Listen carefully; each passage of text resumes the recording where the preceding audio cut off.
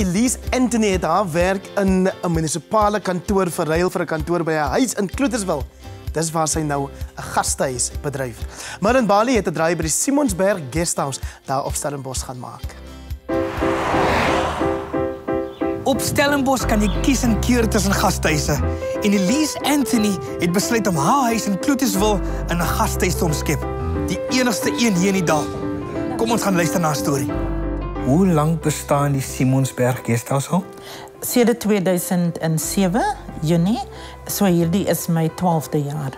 Hoekom het jy besluit om die huis in 'n gastehuis te omskep? Ek het gesien dat daar is 'n gaping in die mark. Okay. Hier was meneer Meyer en mevrou Meyer ou mense, hulle was Ja. in die onderwys destyds wat 'n gastehuis gehad het en ek het 'n bietjie kers opgesit want ek moet eers kyk is dit die regte pad wat ek gaan volg en hulle het vir my regtig aangemoedig om dit wel te doen en selfs vir my van hulle gaste oorseese gaste wat ek nog steeds tot vandag kry, het hulle my bekend aangestel en toe ek gedink, oké, okay, ek gaan hierdie besigheid 'n sukses maak.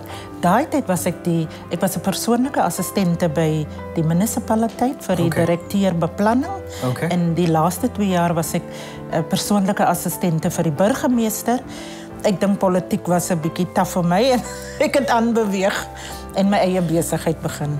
En ek het bedank en ek het my eerste kamer begin, my kar uitgetrek, garage bietjie na 'n gemaklik gemaak om 'n 'n gastehuisves Ja. en daar het ek begin en toe my kinders trou, gebruik ek al die kamers. Ons het 4 slaapkamers, so ons kan 8 mense akkommodeer. Ek het al daaraan gedink om nog 2 ekstra kamers aan te bring, want daar is raadslede wat mense uh, na my verwys Okay. en selfs um, kerkgroepe. Ek en my man woon op die oomblik waar ons dubbele garage was. Ons het dit omskep in twee slaapkamers, badkamer en natuurlik 'n sitkamer, kombuisie. Maar ek moet sê dit was 'n goeie skuif want dit is beter om by jou besigheid te wees Ja. want daar is gaste wat laat aankom. Watter spesiale dienste bied u vir die gaste?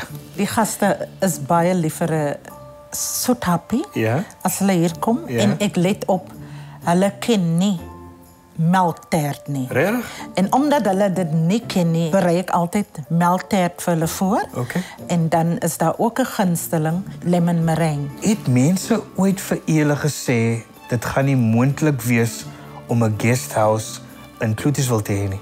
Ek was al ge, de, gesê dat dit as jy seker dit gaan werk, Ja. dan sê ek ek gaan nie weet as ek nie probeer nie. Ja. Ek moet sê ek het groot kompetisie met die gastehuise op die dorp. Ja. Want kyk, hulle is reeds lankal gevestig. Ja. En die gaste gaan liewer hulle verkies meerderheid van hulle in die dorp want dis in loopafstand. Baie keer gaan hulle restaurants toe, hulle drink 'n uh, wyntjie en dan weet hulle hulle kan terug na die gastehuis gaan. Ja.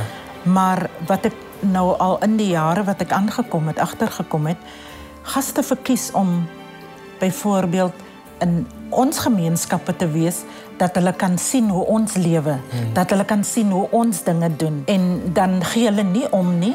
Ek is 'n eh, geregistreerde toergids. Ja. Daar is kere wat ek ook gaste neem na Devon Valley, JC Leroux Okay. waar ek groot geword het Ja. en vir hulle voorstel aan my lewe.